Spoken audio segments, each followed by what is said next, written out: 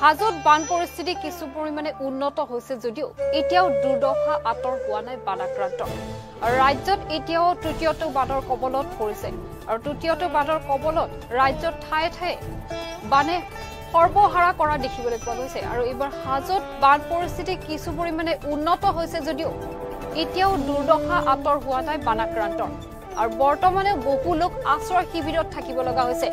আৰু হাজোৰ ডিঙৰা গাঁৱত থকা এতিয়া বহু লোক আশ্ৰয় শিবিৰত উপযুক্ত খাদ্যৰ অভাৱত থাকিব লগা হোৱাত আৰ্কাট মেডিকেল ৰিচাৰ্চ কোৱাণ্টাম হস্পিটেলৰ নলবাৰীৰ তৰফৰ পৰা বিতৰণ কৰা হৈছে খাদ্য সামগ্ৰী। আৰু ডক্টৰ প্ৰভাত কলিতাৰ উদ্যোগত বান শিবিৰত থকা শতাধিক লোকক খাদ্য সামগ্ৰী বিতৰণ কৰা হয়।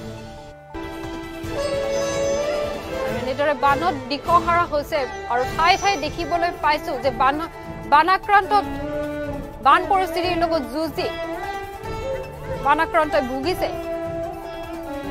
দুৰ্যোগ আৰু হাজত এইবাৰ বান পৰিস্থিতি কিছু পৰিমাণে উন্নত হৈছে যদিও এতিয়াও দুৰ্দশা আঁতৰ হোৱা নাই বানাক্ৰান্তৰ আৰু বৰ্তমানে বহু লোক শিবিৰত থাকিব লগা হৈছে।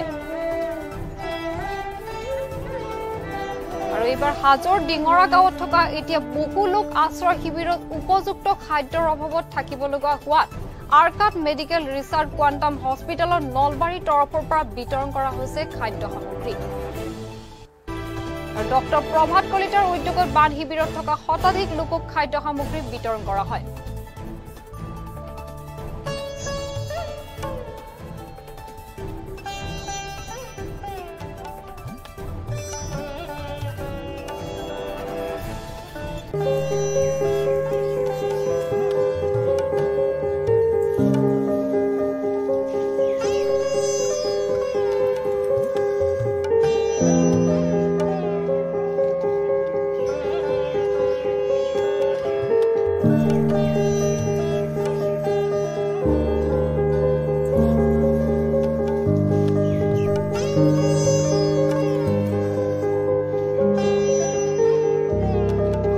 you